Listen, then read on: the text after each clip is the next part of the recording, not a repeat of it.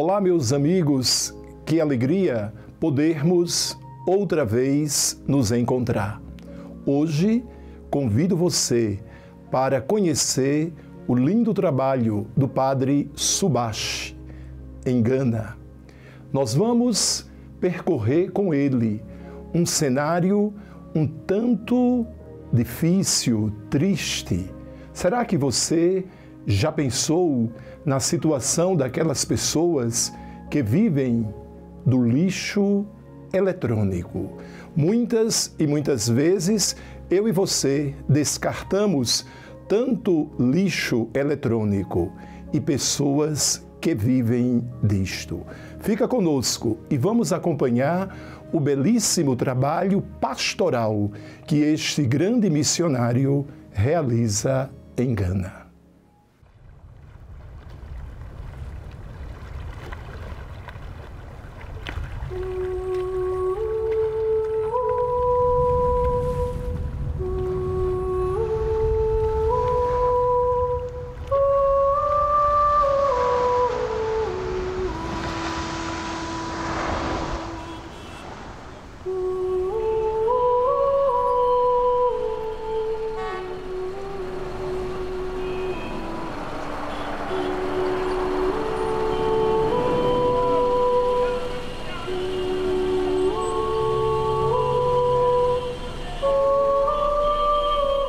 Depois que eu me formei, eu deixei Calcutá e fui para Los Angeles. Depois de Los Angeles, fui para a cidade do México e Roma. E depois Gana.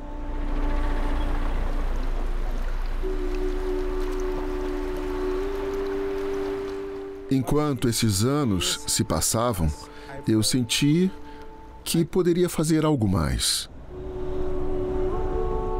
Mas minha ideia era ir a algum lugar mais calmo, ir a uma pequena comunidade para ficar com eles e fazer algo por eles.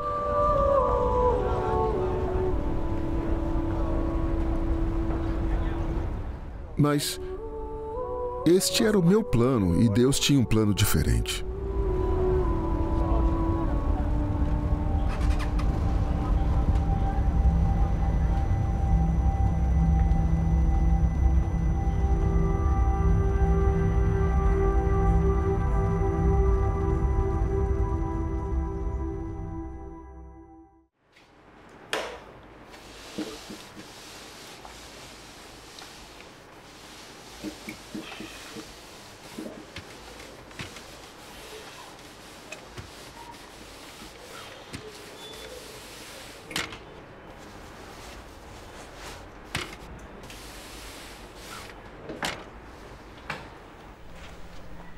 Meu nome é Padre Subhash, da Índia.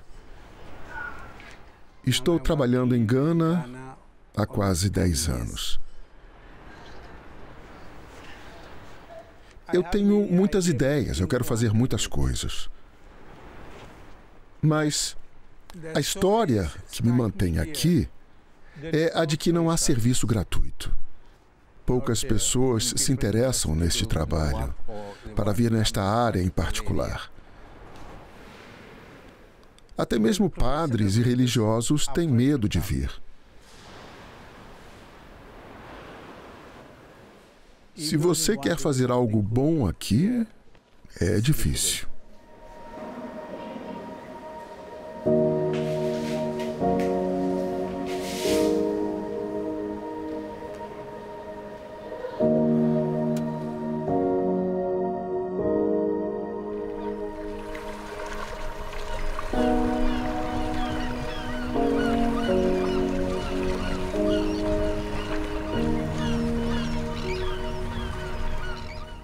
Uns 20 anos, algumas famílias vieram do norte e se assentaram aqui.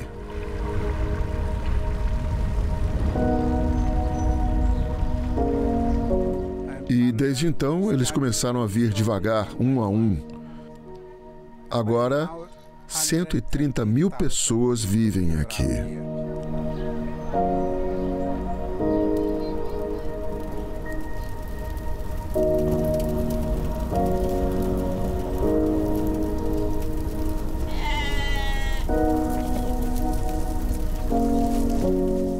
Vi um pouco do norte de Gana e a situação lá é muito difícil.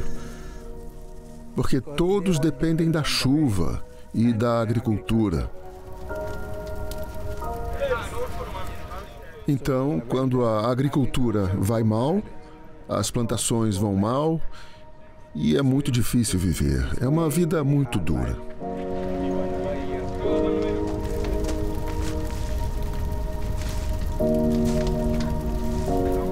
Por causa deste tipo de pobreza, eles começaram a queimar componentes eletrônicos que vêm da Europa e da América, na sua maioria.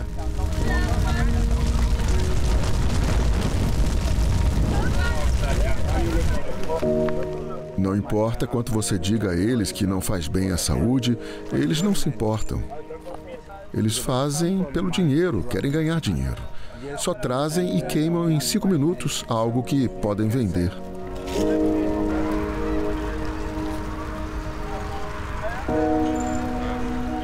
Quando as pessoas que vêm aqui e vivem por alguns anos ou menos voltam aos seus vilarejos, Outros jovens os veem como é, grandões, porque estão bem vestidos, trazem um pouco de dinheiro, andam como chefões.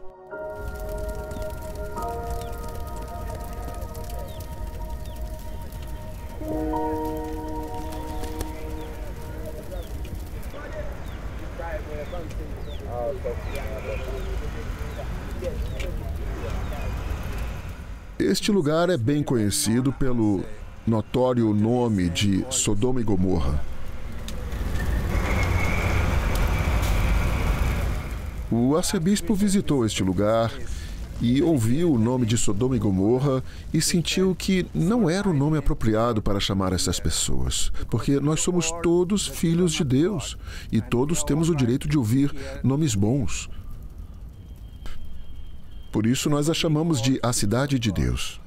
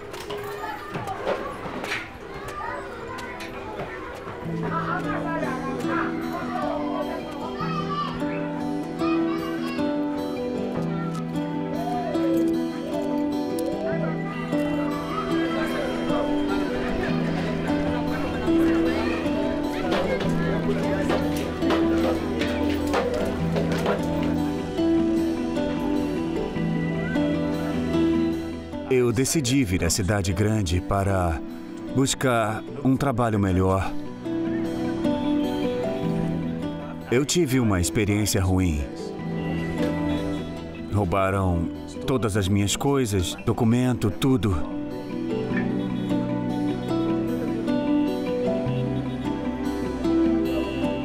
Porque era bem difícil para mim pagar o meu aluguel. Eu procurei pelo padre e falei com ele. E ele me disse: Se você não puder pagar pelo seu aluguel, eu te darei este lugar para ficar.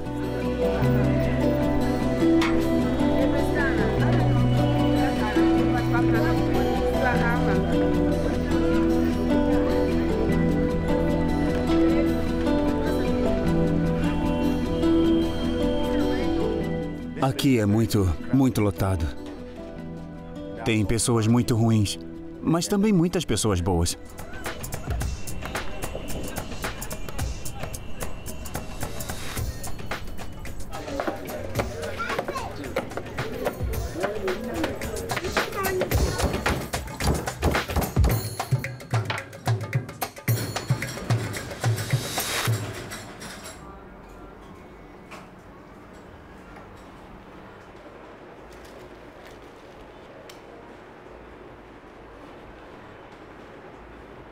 You look like beauty.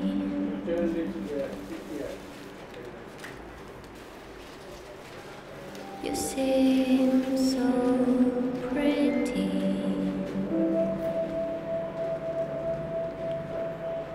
Okay, one, two, three.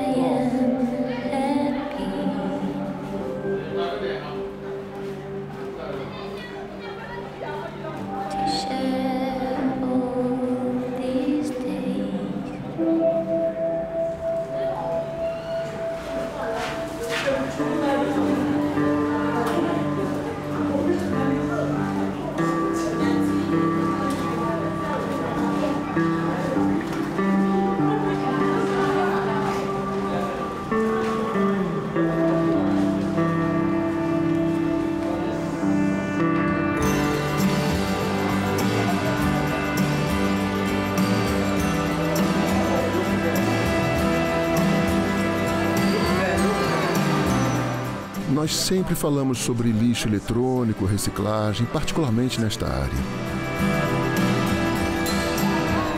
Por que não podemos fazer algo diferente do que já fazemos? Algo criativo, algo novo? Então eu pensei que seria bom convidar a todos e organizar um desfile de moda fora da comunidade. Quem sabe eles poderiam ver, gostar e comprar. Nós conversamos com as pessoas que trabalham e todos eles concordaram. E se tornou um programa bem legal e interessante.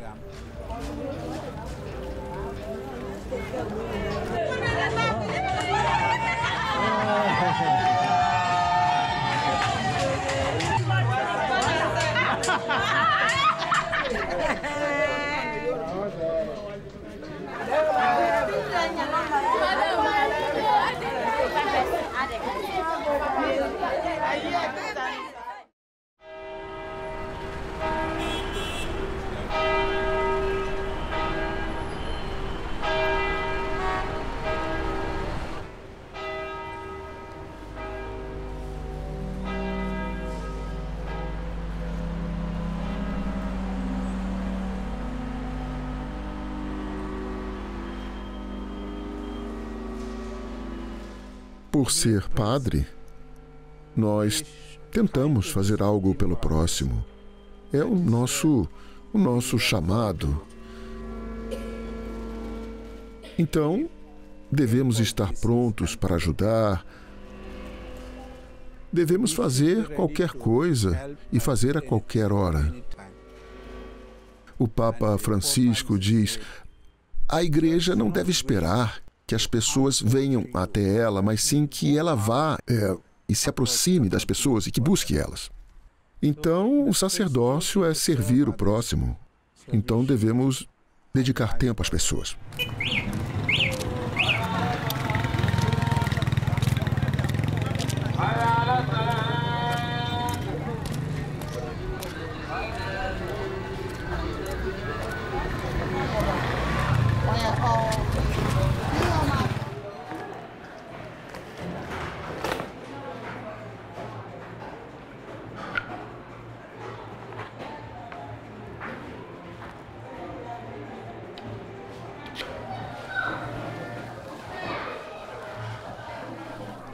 Às vezes, quando você dá o seu melhor em alguma coisa e não há resposta dos outros, você até se pergunta o que eu estou fazendo aqui, sabe? Nós duvidamos de nós mesmos. É que nós somos todos humanos.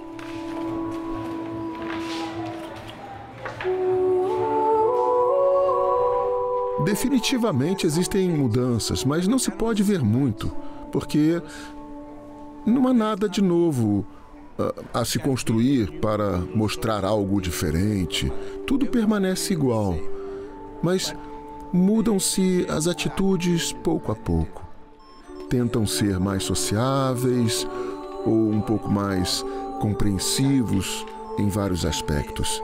Existem progressos, Mas não dá para reconhecer de imediato. Quando você vive aqui, você conhece as pessoas e você pode lentamente entender que há mudanças acontecendo.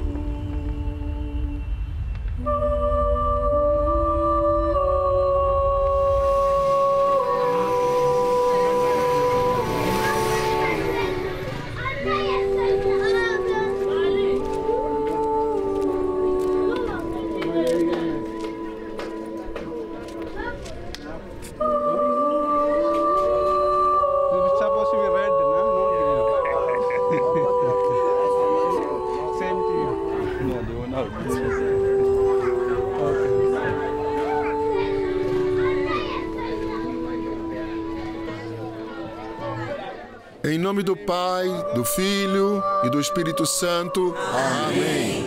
A graça de nosso Senhor Jesus Cristo, o amor do Pai e a comunhão do Espírito Santo estejam convosco. Este é seu amigo? Está bem. Olha, havia dois garotos numa escola e esses dois garotos eram muito pobres. E quando os garotos iam para a escola, eles levavam as suas merendas. Mas um desses garotos, o mais pobre, levava uma sacola sem nada dentro. E ele pegava o seu pote e saía um pouquinho, fingindo estar comendo. Então, um dia, o outro amigo colocou comida no pote dele, tampou e saiu. E aquele garoto dividia a própria comida. Ele nunca disse a seus pais para colocar um pouco a mais. Hoje, meus irmãos e minhas irmãs, o Natal está aqui. Hora de partilhar uma refeição porque Jesus está chegando. Então, Natal simplesmente significa compartilhar. E Jesus veio ao mundo para compartilhar sua vida conosco. Ele quer que nós compartilhemos nossas vidas com os outros. Isso é doação e isso é Natal o corpo de Cristo. Amém. O corpo de Cristo. Amém. O corpo de Cristo. Amém. O corpo de Cristo. Amém. O corpo de Cristo. O corpo de Cristo. Amém. Corpo de Cristo. Amém.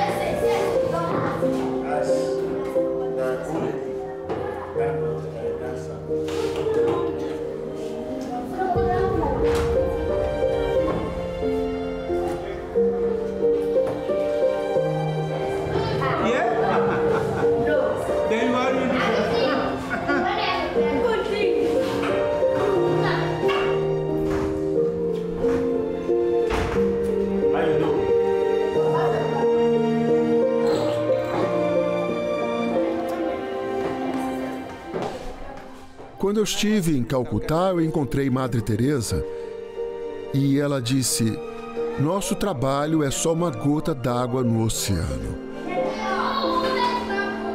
Se eu puder ajudar uma pessoa, eu estarei feliz com isso, porque eu não posso ajudar a todos. Então, eu acho que, pelo menos, a nossa presença é importante.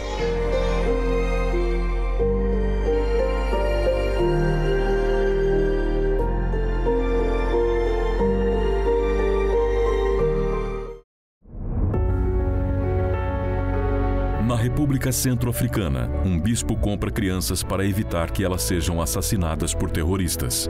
Na Síria, mais de 2.500 crianças que viveram os horrores da guerra recebem leite mensalmente, além de toda a ajuda pastoral.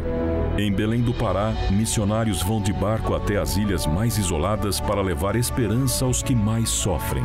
Tudo isso você pode ver mensalmente no Eco do Amor, o informativo gratuito da Fundação Pontifícia ACN. Ligue agora para 0800 77 099 27 ou acesse o site acn.org.br e peça para receber gratuitamente o seu Eco do Amor. Conheça os projetos apoiados pela ACN e faça parte deste grandioso trabalho missionário presente em mais de 140 países.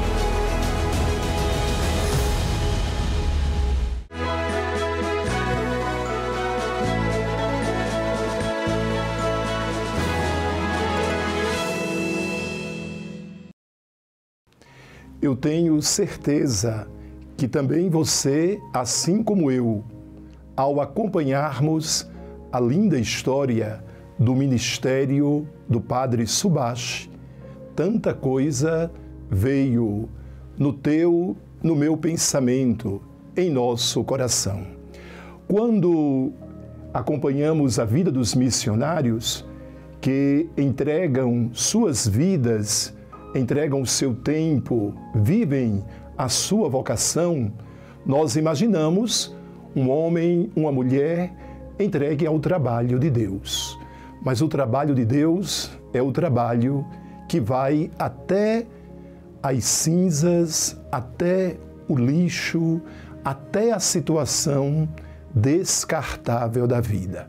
Afinal, não apenas os produtos são descartáveis, mas é triste quando a gente percebe que também no mundo de hoje existem pessoas que são consideradas seres humanos descartáveis.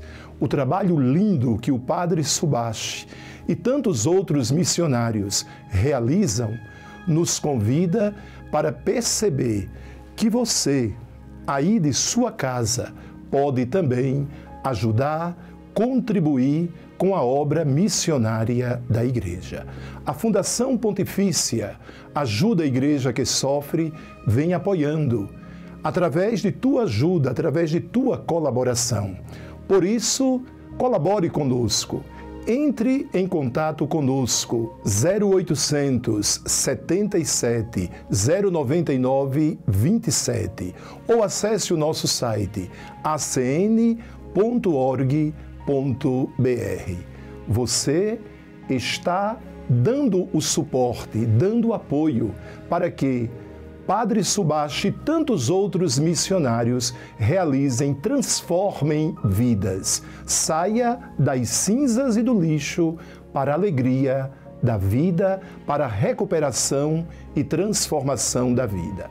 Convido você agora para unirmos a nossa oração com a vida e a oração dos missionários, como o Padre Subashi. Senhor nosso Deus, o teu amor nos leva a doar-nos, principalmente pelos mais necessitados. Abençoa o trabalho de todos os missionários no mundo inteiro.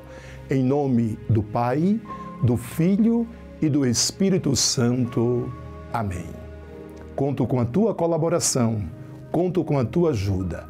A África precisa, os missionários precisam, a Igreja precisa de tua colaboração.